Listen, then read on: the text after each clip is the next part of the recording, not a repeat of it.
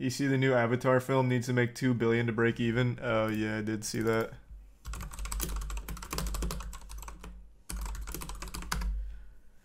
It'll have to be the third or fourth highest grossing movie of all time just to break even.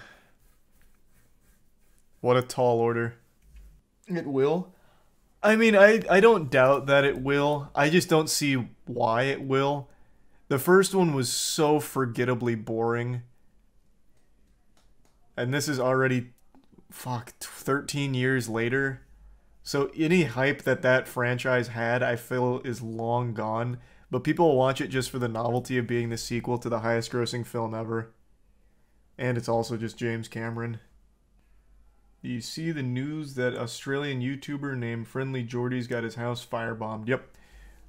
I am a huge fan of Friendly Jordies, and that was heartbreaking to see. The corruption there is unfucking real. Jord, I, am here. I'll, I'll briefly talk about it.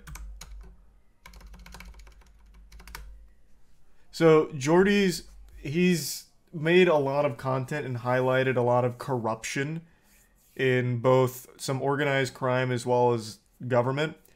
And he's been the target of a lot of hit pieces in Australia. There's been a lot of attacks on his character. There's been a lot of just awful shit that has come from his fight for justice. And the most recent sad development is his house was firebombed. And what actually, it's even, it's a crazier story than even that leads it on to be. So his neighbor's house got firebombed the night before. I think it was the night before. And then when they realized it wasn't Jordy's house, they came back and then firebombed his actual house. Now, the list of suspects is huge because he's reported on so much corruption. He's currently engaged in a lawsuit over something else, uh, another corrupt, uh, another corrupt organization. But he's also, like I said, highlighted some organized crime as well. So this could have been fucking anyone. And it's just so goddamn sad. Because he does incredible work. Imagine the neighbors. Oh yeah, the neighbors had no fucking clue. Uh, he even did like a, well, interviews the wrong word, but he got ambushed by these fucking vultures here, and he gave like a short statement, and he seemed to be in relatively high spirits about it. So that's good at least, but such a fucked situation. What about his neighbors? They got fucked for no reason. Well, he got fucked for no reason too. Like the, I think the way of proving that you're not a corrupt uh, government official is not to have someone firebomb the guy calling you a corrupt government official. Play the interview again. It's not really like an interview, but well, here I'll play it. We don't know who did it. Uh, there's a long list of suspects. My mind was racing as to who it is. Obviously, we've done some extremely uh, dangerous reporting over the last year, I suppose, of a bunch of extremely powerful people and corporations. There is many people that would want to do that. I obviously can't say who I suspect it is, but I do have like a short list in my head of who I think would have done it. I would hope that the New South Wales uh, strike force that is supposedly set up for fixated people and terrorists would be looking into this instead of a comedian and his team for six months straight at the whim of a previous premier that all of you defended for his last 10 years and then when he came out, and even after it, all the New York stuff, you're still sitting there defending him now. I saw all of your articles. I love that he confronts them to their face. all of the same little narrative that you write every time. I would hope that you would put just as much attention on the fact that that happened as you have on trying to assassinate my character over the last year. Thanks for your time. Did something well, happen here a week no, ago, Jordan? Yep. Someone, someone solid statement all around. He takes huge risks reporting on the stories that he does. Clearly. But he is like the only one that I know of that's doing like that kind of hard hitting journalism, and the shit that he exposes is foul. John Barilaro. Yeah, John Barilaro is someone that I keep seeing pop up as a potential person who may have orchestrated this. It, again, it's it's a pretty long list of people with power that hate Jordies, it, it could have been a lot of people. Thanks for the bits again, Harp. Uh, no update on the breast milk tier list. Uh, any day now, though. Probably one of your worst ideas. The breast milk tier list? Well, I beg to differ. You want to hear a worse idea I had? I thought it would be super fun to kind of do what Jackass did, where you do like a, a, sperm potency test, you see who's got the strongest swimmers, all that.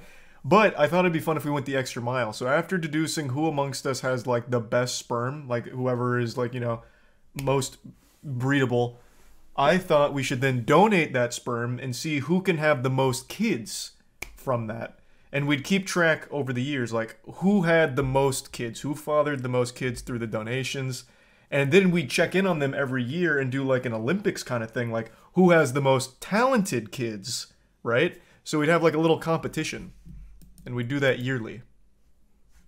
See? Like that's a much worse idea. Wow that's unhinged. It is a it's a long-term idea.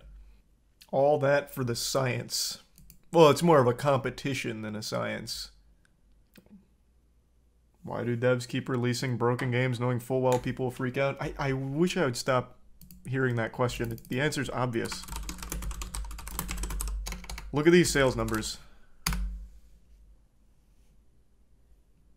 I, I thought the first article would be about the sales numbers. It has sold over 10 million units already. Oh, here we go. Sets new record. Yeah. Like it's there's just no reason to even bother releasing it polished or fleshed out. The more you can release, the more money you're gonna Jesus, the more money you're gonna make because the fans are gonna buy it anyway. It's just that simple. The game doesn't need to be good. It doesn't need to be in a playable state. It just needs to come out, and that's it. I think they're losing longevity. Nope. I guarantee clip it. I guarantee the next Pokemon game, if it comes out next year, I don't know if it will. I don't know if they're planning to continue yearly releases. But regardless of when it comes out, it is also going to do incredible sales numbers.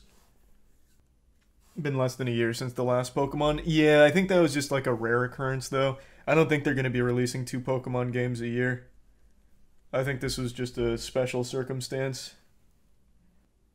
You're going to love if you're wrong. You're going to love it if you turn out to be wrong about the Pokemon thing. I yeah, I'd love to be wrong about it. I would love for the day to come where Game Freak pushes it too far and they release a game that actually doesn't load and people still somehow defend it and it still breaks sales records. I think that would be great. I hope they continue to make the games worse and worse and worse. I want to see what the level is where people finally stop going crazy for it and defending it. Outside of the bugs, the game's better than Sword and Shield, though. I agree. I do agree. 100%. Doesn't change the fact that it's in a completely unacceptable state for a $60 game. I, I just don't really like the DMZ mode. I'm just not a fan of the extraction genre.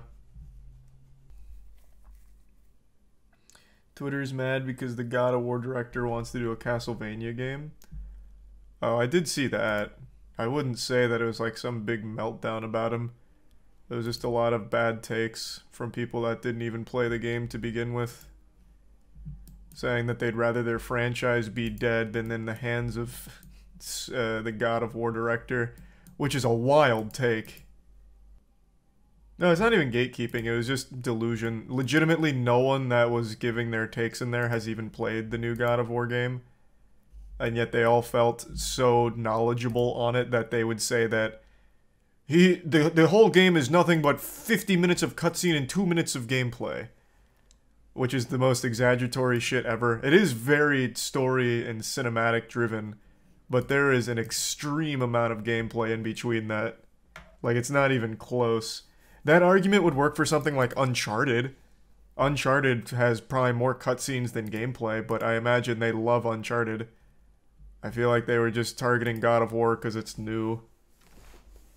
But yeah, most of them had never even played the game, but we're saying Castlevania's better off staying dead than letting it go to the God of War director.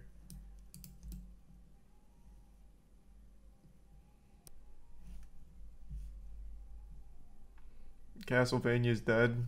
Lol, what? Castlevania's probably the most dead major franchise at the moment.